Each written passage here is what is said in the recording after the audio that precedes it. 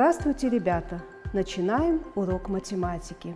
Тема сегодняшнего нашего урока – повторение за год, сложение и вычитание, свойства сложения. Сегодня на уроке мы повторим свойства сложения и узнаем, в каких случаях ими можно пользоваться. Цель сегодняшнего нашего урока – закрепить знания о свойствах сложения – переместительное свойство сложения, совершенствовать вычислительные навыки и умение решать задачи, развивать логическое мышление. Без математики, друзья, прожить на свете нам нельзя. Без нее ты совсем пропадешь, даже номера дома не найдешь. Хлеба не купишь, рубля не сочтешь. Что почем не узнаешь, а узнав, не поймешь. Начинаем наш урок математики с устного счета. Приготовьтесь, ребята, будьте внимательны и записываем только ответы. Какое число состоит из одного десятка и пяти единиц? 15. Какое число следует за числом 17? 18. Насколько 5 меньше 13? на 8. Чему равна сумма чисел 9 и 8? 98. Уменьшаемое 32, вычитаемое 30. Чему равна разность? Правильно, ребята, вы прекрасно справились с заданием. Следующее наше задание мы должны подумать и расставить арифметические действия. Будьте внимательны, Начинаем работать. А теперь проверяем. Если у вас ответы совпали, то вы молодцы, у вас все прекрасно получается.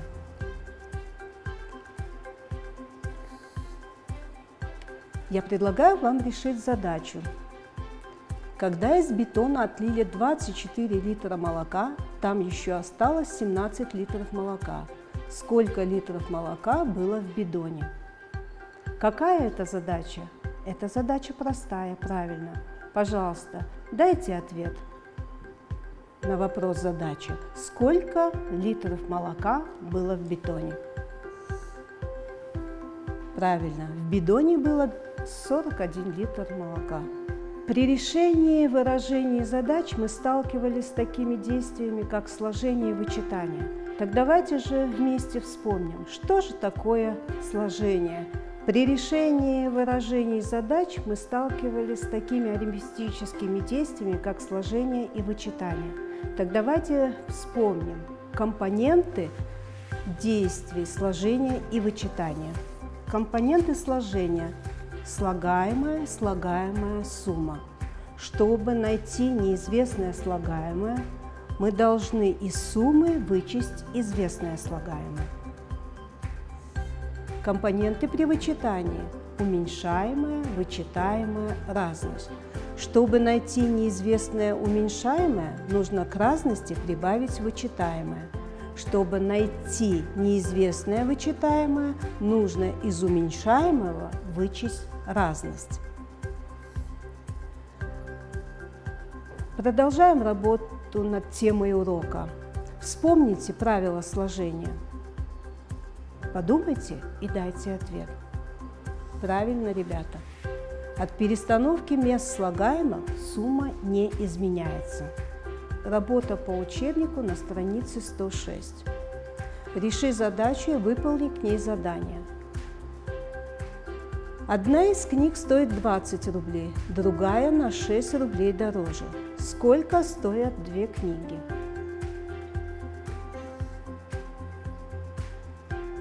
Правильно, обе книги стоят 46 рублей. Далее выполним задание к этой задаче. Объясни с помощью схематического рисунка или чертежа, почему при решении задачи надо было два раза выполнять сложение. Если у вас получился такой схематический рисунок, вы выполнили его правильно. Как нужно изменить условия, чтобы первым действием при решении было вычитание? заменить слово «дороже» на «дешевле». Подумай и реши задачу. Проверь полученный результат. Всего 88 килограмм овощей. Молодцы, ребята! Найди значение выражения. Используя переместительное свойство сложения, найдите значение выражения. Итак, давайте проверим результат.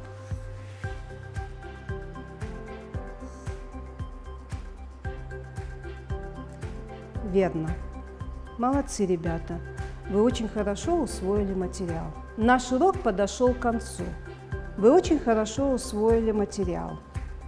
Сегодня на уроке мы закрепили знания свойства сложения. От перестановки мест слагаемых сумма не изменится. Результат сложения не изменится, если соседние слагаемые заменить их суммой. Можно числа складывать в любом порядке, как удобно.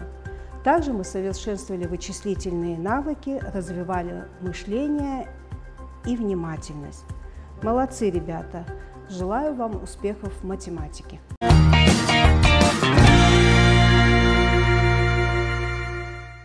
Здравствуйте, ребята!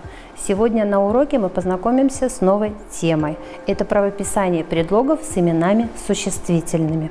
Сегодня на уроке мы с вами узнаем, как пишутся предлоги с именами существительными и научимся составлять словосочетания с данными предлогами.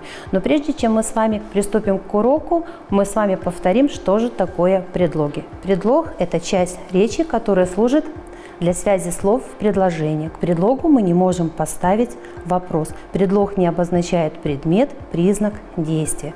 Давайте сейчас мы с вами выполним задание на экране.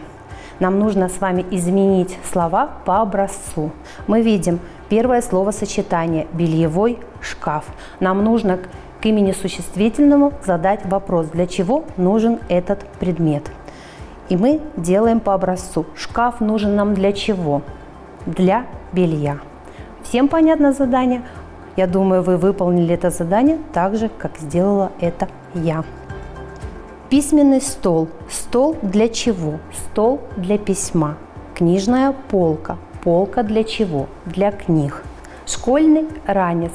Ранец для чего? Для школы. Пассажирский автобус. Автобус для кого? Для пассажиров. Мы, ребята, заметили, что предлоги со словами пишутся раздельно. Сегодня на уроке мы познакомимся с новым словарным словом. Это слово «шел». Слово, в слове «шел» у нас один слог. Мы с вами должны запомнить правописание гласной буквы «ё». Давайте мы с вами подберем к данному слову однокоренные слова. «Пришел», «зашел», «отошел». Давайте еще раз повторим, что в слове «шел» мы пишем букву Ё. А теперь откройте учебники на странице 112. Мы выполним упражнение 191. Что нам нужно выполнить в данном упражнении? Прочитайте. Запишите словосочетание слов без имен прилагательных. Подчеркните предлоги. Ребята, если мы посмотрим на словосочетание, то мы с вами заметим, что между предлогом и именем существительным стоит другое слово, а в данном случае это прилагательное. Давайте проверим, что у нас вышло. Шел по тропинке. По – это предлог, мы его подчеркнули. Работаю в магазине, предлог В. Пришел из школы, предлог из. Вырос под осиной, предлог под. Летели над городом, предлог над. У моря, предлог у. Самое главное, ребята, мы должны с вами запомнить, что предлоги с именами существительными пишутся раздельно. А теперь давайте подведем итог и посмотрим на экран. Предлог со словами «не друзья» и слитно их писать нельзя. Мы видим предлоги, которые мы с вами сегодня изучали. А сейчас наша задача устно поставить между предлогом и именем существительным имя прилагательно. Давайте выполним это вместе. Бабочка над чем? Над цветами. Бабочка над красивыми цветами. Ваза с чем? С цветами. Ваза с полевыми цветами. Подарок около чего? Подарок около голубой вазы. Тарелка на чем? Тарелка на деревянном столе. Тарелка с чем? Тарелка с красными ягодами. И ягоды в чем?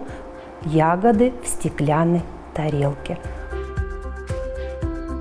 Ребята, домашним заданием вам будет выполнить упражнение 190 на странице 111. Урок окончен. До свидания. До новых встреч.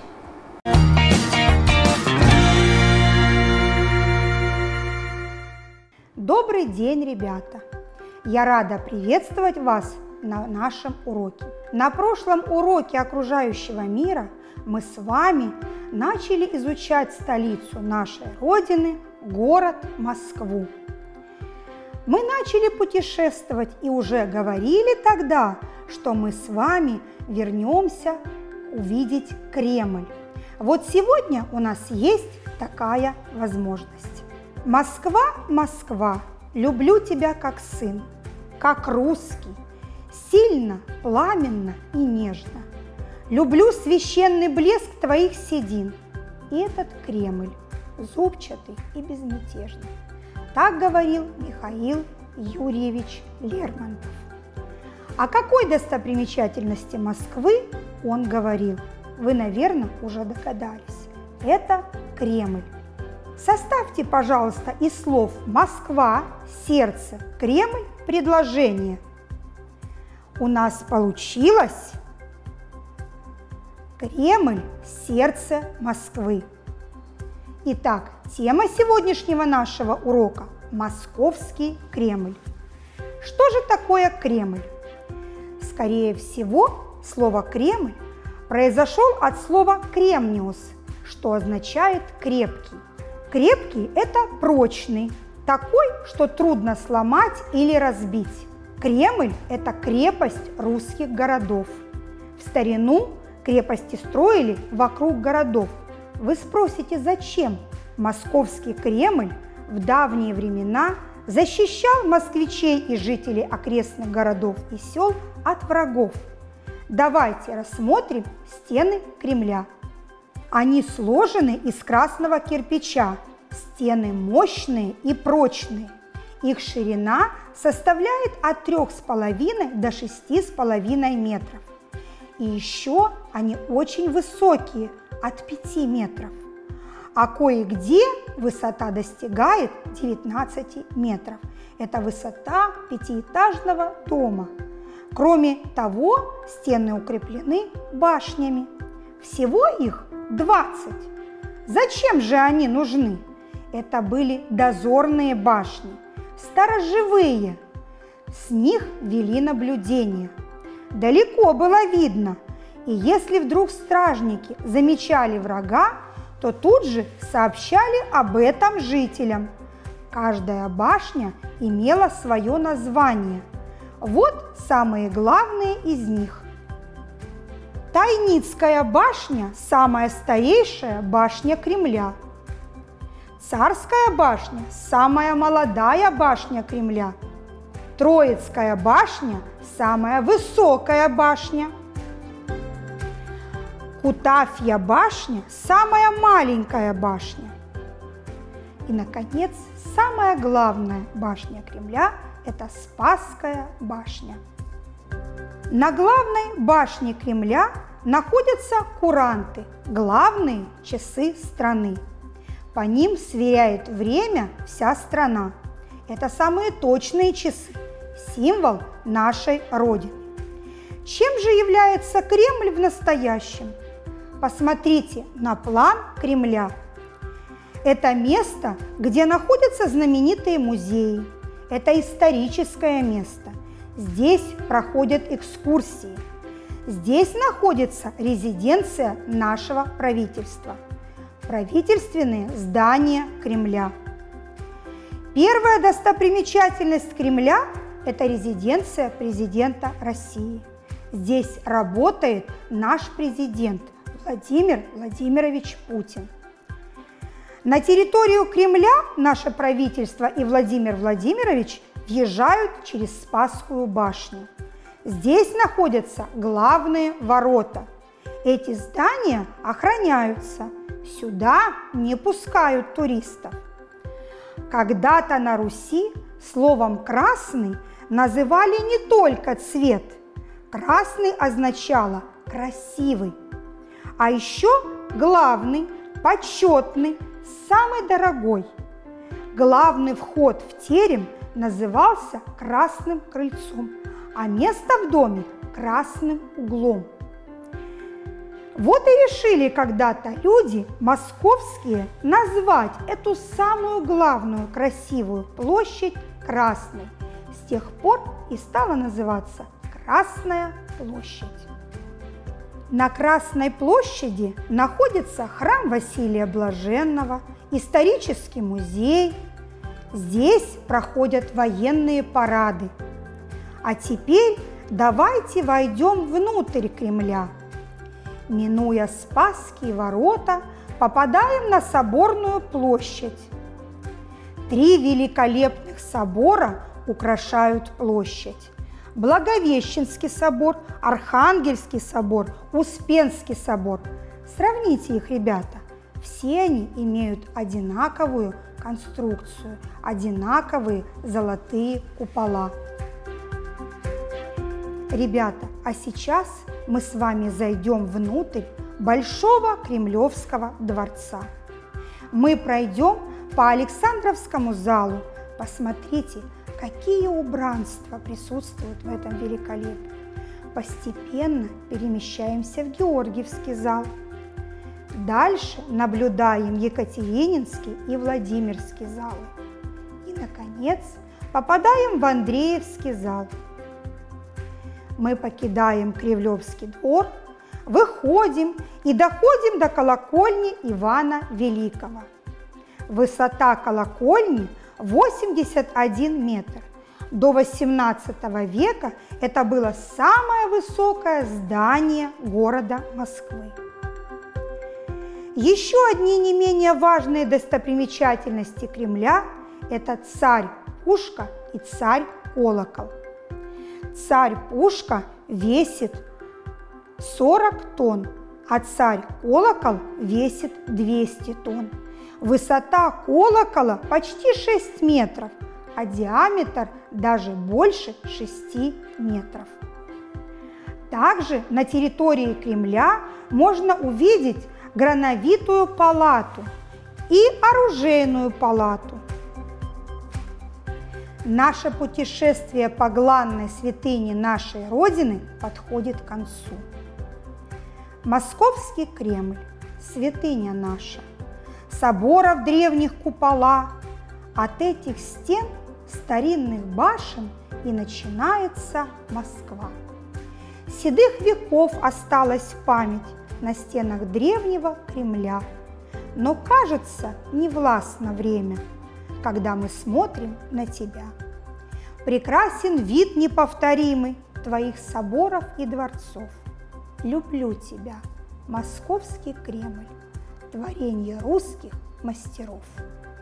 Ты лучше всех на белом свете, Россия, Родина моя, и пусть всегда звучат над миром и не померкнут никогда три самых главных русских слова – Россия, Родина, Москва. Еще раз вспомнить о том, что мы сегодня изучали на уроке, поможет вам ваш учебник прочитайте. А то, чего не найдете в учебнике, найдите в дополнительной литературе или интернете. Подготовьте рассказ об одной из достопримечательностей Кремля. Наш урок окончен. До свидания, ребята!